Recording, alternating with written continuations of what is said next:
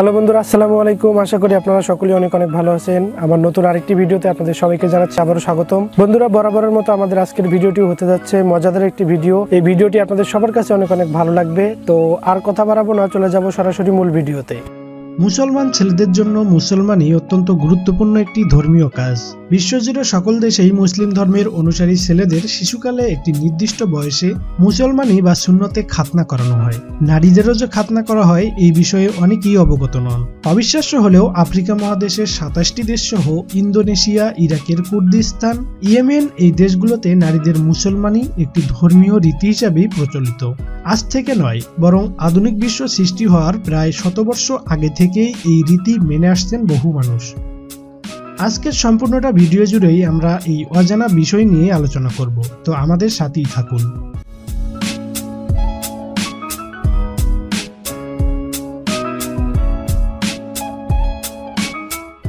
আপনি শুনলে অবাক হবেন যে বিশ্বের প্রতি বিশটি মেয়ে শিশু বা নারীর মধ্যে একজনের খতনা করা হয়ে থাকে, যাকে ইংরেজিতে বলা হয় এফিএম বা ফিমেল জেনিটাল মিউটিলিশন। বর্তমানে বিশ্বে এরকম বিশ কোটি নারী রয়েছেন যাদের আংশিক অথবা পুরো খতনা করা হয়েছে, অর্থাৎ যৌনাঙ্গ কেটে ফেলা হয়েছে। অনেক নারী ও মেয়ের শিশু অবস্থাতেই এরকম খাতনা করা হয়। এমনকি ছোট্ট শিশুদেরও এই কাজ থেকে রেহাই দেওয়া হয় না। অনেক সময় বয়সন্ধির সময়ও এটি করা হয়ে থাকে। ফলে নারীদের শারীরিক এবং মানসিক সমস্যা তৈরি হয়। যা পরবর্তীতে তাদের সারা জীবন বয়ে বেড়াতে হয়। চলুন এবার আলোচনা করা যাক নারীদের খতনা আসলে কি। নারীদের খতনার মানে হলো ইচ্ছাকৃতভাবে যৌনাঙ্গের বাহিরের অংশটি কেটে ফেলা। অনেক সময় ভঙ্গাকুরের পাশের চামড়া কেটে ফেলা হয়। বিশ্ব স্বাস্থ্য সংস্থা এর ব্যাখ্যা দিতে গিয়ে বলেছে, চিকিৎসার প্রয়োজন ব্যতীত এরকম যে কোনো প্রতিক্রিয়া নারীদের যৌনাঙ্গের ক্ষতি করে। এই ধরনের কাজে নারীদের শারীরিক এবং মানসিকভাবে ক্ষতি করে থাকে, যার স্বাস্থ্যগত কোনো উপকারিতা নেই।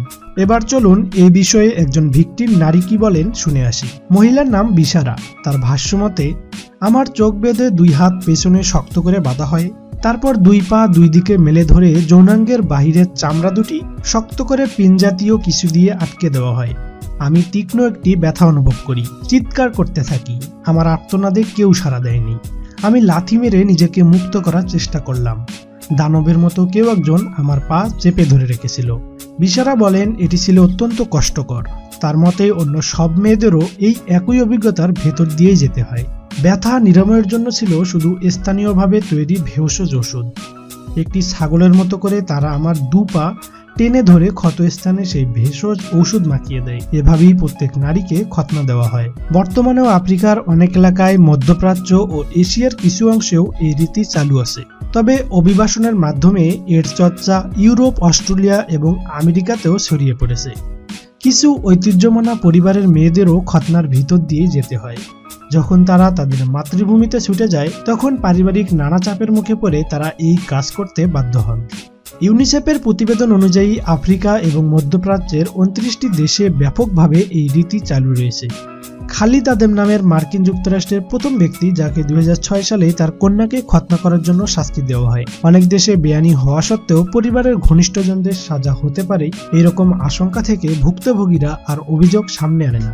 তবে মেয়ে শিশুদের উপর এরকম খতনা করার প্রবণতা দিন থেকে দিন বেড়েই চলছে।